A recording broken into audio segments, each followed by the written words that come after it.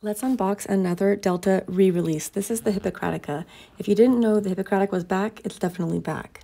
If you're a sucker for packaging, this is the classic Delta packaging with the black pin box and the outer sleeve. Inside you have your information about Delta, your pin, your warranty, how to use it. Their branding on their packaging and products is very clean and I like that. Inside your pin is settled in really securely in a plastic sleeve. All right, and the Delta Hippocratica collection is a tribute to Hippocrates.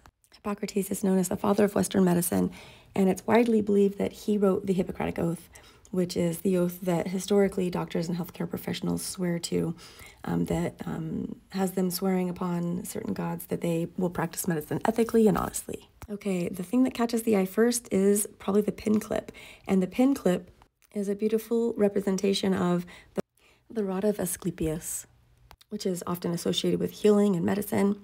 And it's basically a serpent entwined around a rod that um, a Greek god named Asclepius was said to carry. Okay, let's jump forward to the nib. This is a stainless steel nib, and it's got the Delta branding on it. And previous versions of the Hippocratica featured Delta's Fusion nib, but um, the 2023 release is a stainless steel nib. We are always intrigued when the pin has a design that has a threaded post, so I wanted to feature that.